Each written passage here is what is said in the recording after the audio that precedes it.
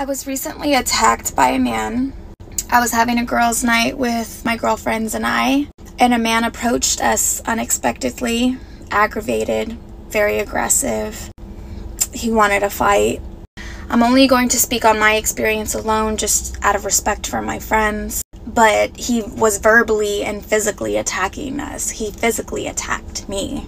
And this is apart from my normal content, but I do believe this is important to share because of social norms.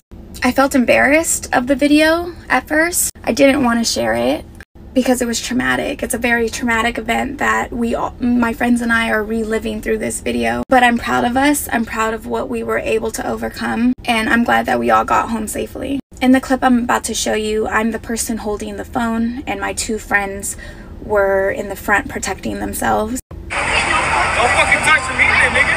Stop! Oh, what's going on right now? Hold on. Who the fuck wanna Right. fuck with me? Who the fuck me? You want you want Bria your hammer? You're gonna.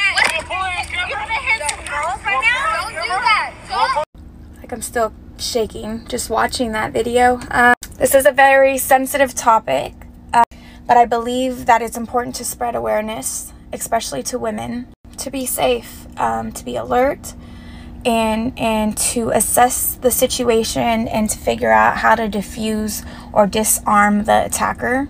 I'm still processing it all. Um, I do have more of the clip. I'm going to figure out how I can edit it and, and just share how to protect what I used to protect myself, um, how I was able to get out of him hitting me. Um, violence is never the answer, um, especially for women. Um, with men, I don't believe that women and men should ever come in that type of contact. I've never been in that type of contact with a man. We were just outside waiting for our Uber. It's very unfortunate what my friends and I had to go through that night. So I can hope everybody who watches this video can understand to be respectful and and and just be safe. It's very unfortunate that women have to protect themselves in this way um, in in in 2021. You know what I mean? It sucks.